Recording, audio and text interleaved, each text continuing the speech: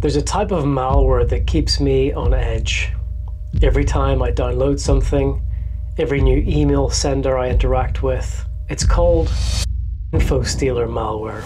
And I'm going to show you what it looks like when you get hit with some. So what is InfoStealer malware? It's a type of evil software that's designed to steal information from a victim's device without them knowing about it. Usernames, passwords, credit card information, cookies, session tokens, and so much more. Now these are all things you do not want getting into the wrong hands. So how does it work? Well, in most cases, InfoStealer malware is hidden within seemingly harmless files, like some software you downloaded, a Chrome extension, an Office document, stuff like that. And once you interact with it, the software begins to monitor and gather information discreetly in the background. And bad guys put a lot of effort, social engineering, into trying to get you to click on it fake Netflix campaigns, DHL, Apple, Microsoft 365, even fake YouTube emails.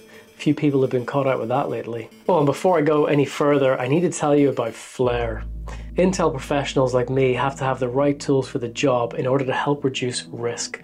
And that's exactly what Flare does because it enables you to see your attack surface and deny attackers the intelligence advantage. And it can do this because it's actively monitoring the internet, not just the deep and dark web, but the clear web as well. If somebody in your company posts API keys into a GitHub repository, you get an alert in Flare. If an employee's leaked credentials are put on sale, you get an alert in Flare and it's really fast. I got alerts set up to email and Slack, but it works with all the best collaboration tools and it is super easy to integrate into an existing security stack. In under 30 minutes, I was up and running. Flare monitors things like ransomware data leak sites, Telegram channels where bad actors sell data to each other, dark web cybercrime forums, and so much more. It also translates languages so that you can read a post in a Russian cybercrime forum, for example. And it even has AI functionality that gives you context around what it is that you're seeing. So you don't actually have to read the logs per se. It'll use AI to analyze what's going on in those posts. And you just read the little paragraph that the AI gives you for all the context that you could ever need. It's really cool. There's a link in the description that helps support the channel. Thank you Flare for sponsoring this video. Now, let's go take a look at some InfoStealer logs. By the way, these logs are anonymized, so don't try to make use of anything that you see here. If you pause this and try and use bank details or passwords and things, it won't work. So this is what the bad guys get after they install their malware on your computer. This is the Redline Stealer. This is one of the most infamous of all of the info stealers. Highly prevalent, very capable. And this is what you get. If you're a threat actor, and you sign up to use the Redline Stealer, you get access to their malware, you infect someone, and then you end up getting stuff like this sent back to you. Now, these are all of the files and folders here. Again, fully anonymized, so none of this is real, okay? Let's just have a look at this one, process list. So this is a list of all of the processes running on the computer which has been infected and the threat actor gets to see it. They get the ID number of the process, what the application is called, and any command line arguments that are running along with it. Now that's incredibly useful. If you in fact an organization with Redline Stealer, you can learn about what antivirus they're using. You would hope that antivirus might pick it up, but sometimes it doesn't. But you would see that here, you would see CrowdStrike listed here, for example. Now, sometimes when people run these command line arguments, they pass passwords within those. So that's another way of losing passwords because you've got the command that's running like an SSH command, for example.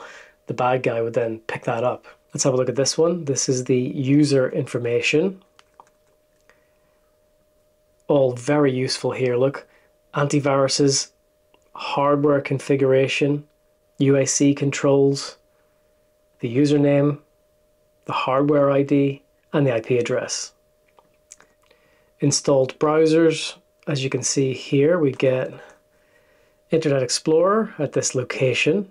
You get the version number as well, Microsoft Edge and its version number. That's super useful to have because you can then go and look at the exploit database for exploits against this version of Microsoft Edge we get a list of all of the installed software. As you can see, we got ExpressVPN, McAfee, Microsoft Edge, Steam, Rockstar Games, somebody likes GTA. and all of the version numbers for these as well, and that is the useful part. Passwords.txt, I wonder what's in here. Here we go. Web pages, usernames, passwords. We've even got Discord.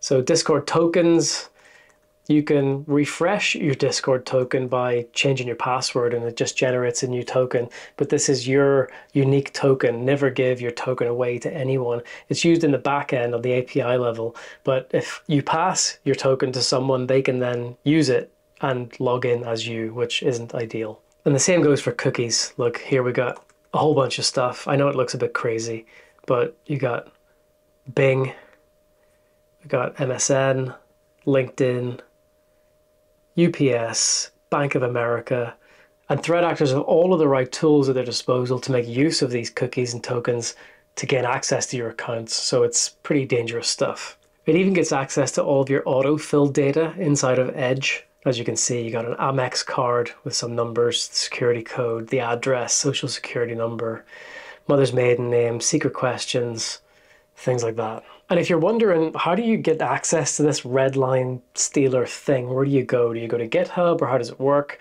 There are versions of it on GitHub that you can see. I wouldn't recommend tampering with them though, because a lot of malware like that ends up having other malware inside of it. So stay well clear unless you know exactly what you're doing.